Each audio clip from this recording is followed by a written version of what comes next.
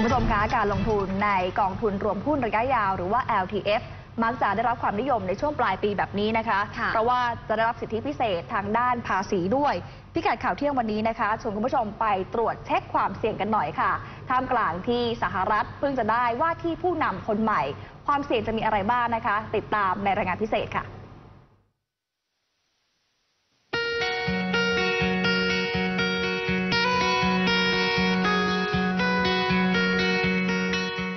เหลืออีกไม่กี่วันก็จะสิ้นปี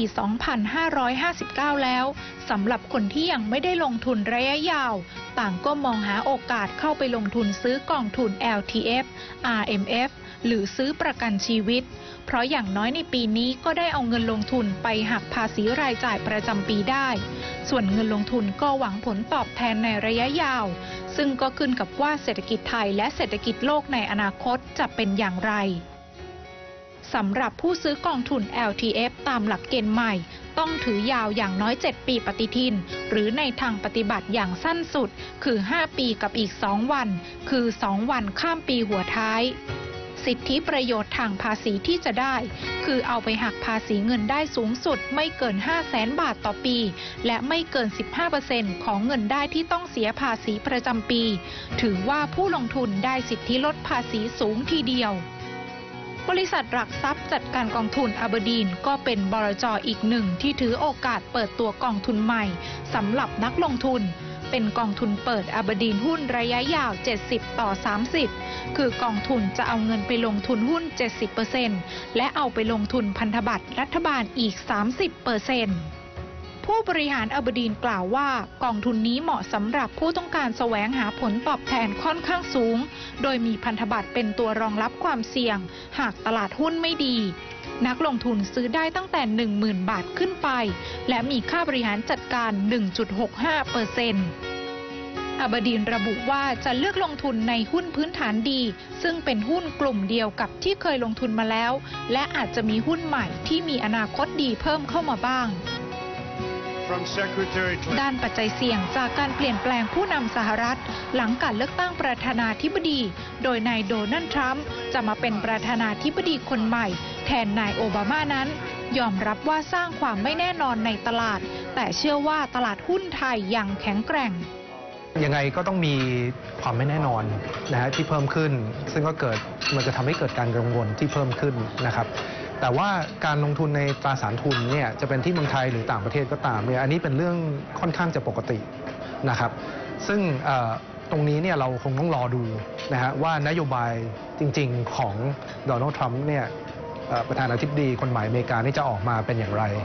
นะครับแต่ว่าในการลงทุนตราสารทุนเนี่ยมันจะมีความไม่แน่นอนอยู่แล้ว ก็ขึ้นอยู่กับว่าผู้จัดการกองทุนเนี่ยเช่นแอบดีเนี่ยสามารถที่จะบริหารความเสี่ยงตรงนี้ได้ไหม โดยวิธีการลงทุน แบบไหนนะครับ ซึ่งผมคิดว่าเมืองไทยเนี่ยค่อนข้างจะ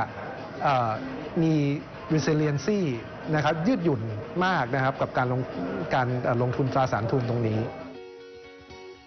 ในส่วนของตลาดพันธบัตรก็เชื่อว่าความเสี่ยงจากนโยบายเศรษฐกิจของทรัมป์ที่จะใช้จ่ายเงินงบประมาณเพิ่มมากขึ้น เพื่อกระตุ้นเศรษฐกิจนั้น น่าจะเป็นผลดีกับตลาดพันธบัตรไทยมากกว่าผลเสีย ผมว่าถ้ามีโอกาสจริงๆ ถ้าเกิดทุกคนกลัวเรื่องของทรัมป์อะเอ่อผมว่าเขาจะไม่ค่อยซื้อพันธบัตรรัฐบาลของอเมริกาซะมากกว่านะครับเพราะว่าหนึ่งนโยบายเขาคือเขาจะเอ่อลงทุนภาครัฐมากขึ้นนะครับซึ่งจะทำให้หนี้เขามากขึ้นนะครับเราก็เห็นเลยว่านั่นแหละทำไมเอ่อ US Treasury 10 ปีมันถึงเพิ่มขึ้นขนาดนั้นนะครับจริงๆแล้วมันมัน ทุกคนเกรงว่าเดี๋ยวเขาจะต้องใช้เงินมากขึ้นเพิ่งออกพันธบัตรรัฐบาลมากขึ้น เงินมันก็เลยอ่านักลงทุนเมืองนอกก็เลยไม่ค่อยอยากจะซื้อเท่าไหร่ ซึ่งจริงๆแล้วเนี่ยมันจะกลายเป็นบวกของเรามากกว่า เพราะว่าเศรษฐกิจเราเนี่ยแข็งแกร่งนะครับงดดุลของเราโอเคติดลบนิดหน่อย แต่ก็ไม่ได้เป็นกังวลอะไรมากบลจหลายแห่งถือโอกาสออกกองทุนใหม่ในช่วงปลายปีนี้ ซึ่งนักลงทุนสามารถศึกษาเปรียบเทียบข้อมูลต่างๆ ได้ สำหรับภาวะตลาดหุ้นไทยที่ดัชนีประมาณ 1,500 จุด นักวิเคราะห์หลายคนยอมรับว่าราคาค่อนข้างแพง หรืออยู่ในระดับกลางๆ หากเทียบกับประเทศในภูมิภาคเอเชีย ส่วนปัจจัยใหญ่ความเสี่ยงสงครามการค้าสหรัฐกับจีน จากนโยบายทางเศรษฐกิจของนายโดนัลด์ทรัมป์ซึ่งจะเข้ารับตำแหน่งวันที่ 20 มกราคมปีหน้านั้น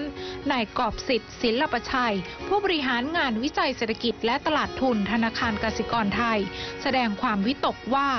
มีความเป็นไปได้ที่ทรัมป์จะเปิดศึกสงครามการค้ากับจีน เพราะหาเสียงเรื่องนี้ไว้เยอะ นอกจากนี้ทรัมป์ยังมีนโยบายพึ่งพาตนเองในด้านพลังงาน ซึ่งหากเป็นเช่นนั้นจริง ย่อมส่งผลลบต่อประเทศกำลังพัฒนา ที่พึ่งพิงการส่งออกสินค้าน้ำมันและสินค้าโภคภัณฑ์อื่น ๆ และตลาดหุ้นไทยก็มีน้ำหนักของหุ้นกลุ่มพลังงานมาก จึงถือเป็นความเสี่ยงอย่างหนึ่ง